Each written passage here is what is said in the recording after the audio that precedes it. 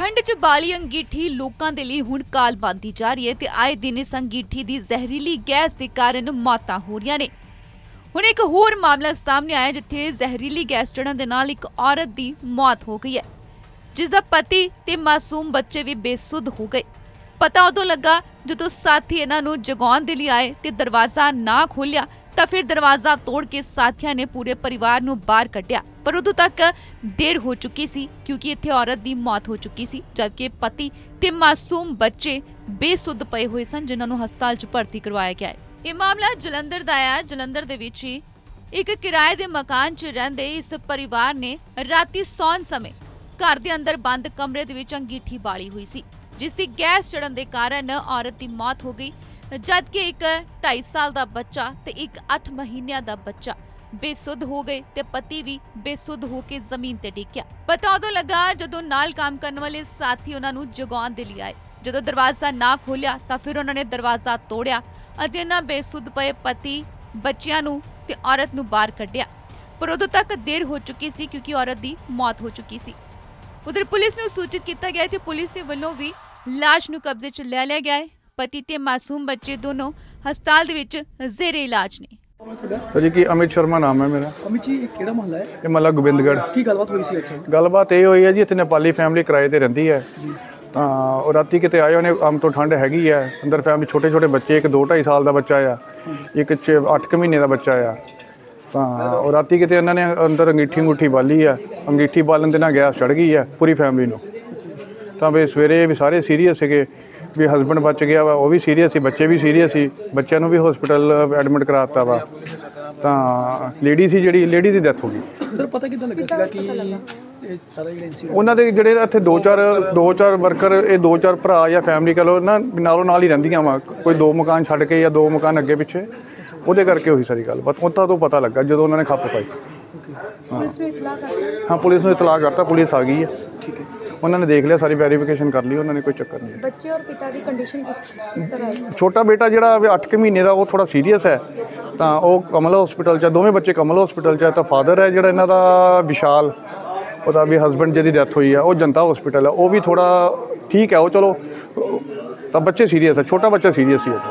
ਉਹਨਾਂ ਦਾ ਕੋਈ ਰਿਲੇਟਿਵ ਇੱਥੇ ਆਏ ਨਹੀਂ ਰਿਲੇਟਿਵ ਜੋ ਸੁਣਨ ਦੇ ਵਿੱਚ ਆਇਆ ਵਾ ਉਹ ਕਹਿੰਦੇ ਦਿੱਲੀ ਰਹਿੰਦੇ ਆ ਜੋ ਬ੍ਰਦਰ ਵਗੈਰਾ ਉਹ ਆ ਰਹੇ ਆ ਬਾਕੀ ਜਿਹੜੇ ਦੂਰ ਨੇੜੇ ਦੇ ਰਿਸ਼ਤੇਦਾਰ ਆ ਕੋਈ ਫਰੈਂਡਸ ਆ ਉਹ ਆਏ ਹੋਏ ਸਾਰੇ ਉਹਨਾਂ ਦੇ ਹਸਬੰਡ ਕੀ ਕੰਮ ਕਰਦੇ ਆ ਉਹਨਾਂ ਦੇ ਹਸਬੰਡ ਉਹੀ ਫਾਸਟ ਫੂਡ ਦਾ ਸਾਰੇ ਨੇ ਕੰਮ ਕਰਦੇ ਸੀਗੇ ਪੰਜ ਸੱਤ ਜਣੇ ਹੈਗੇ ਰਲ ਮਿਲ ਕੇ क्या नाम है आपका मेरा रमेश रमेश हाँ जी कहाँ के रहने वाले हो ये नेपाल आज क्या बात हुई थी यहाँ पर पता नहीं पाजी ऐसा तो कुछ नहीं भी हुआ था कल रात को हम लोग छुट्टी पे था। आ गया सब लोग। और खाना खाना खा लिया।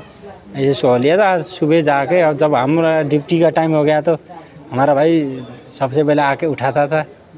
हम लोग जब आज क्यों नहीं आया तो ऐसे ऐसा वैसा देखा।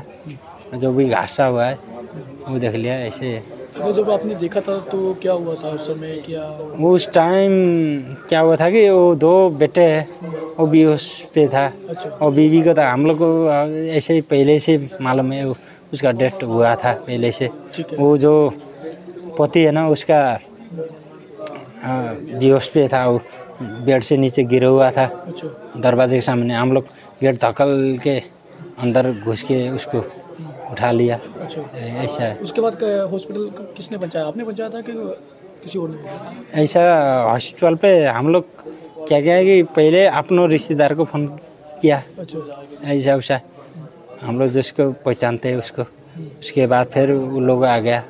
फिर ऐसा वैसा इकट्ठा होके फिर को भेजा। अभी दोनों बच्चे को कमल हॉस्पिटल पे और जो पति था उस उसका जनता हॉस्पिटल में। बातचीत हुई उसकी हाँ अभी अभी हुई है वो अभी होश में आया है। क्या बोला वो?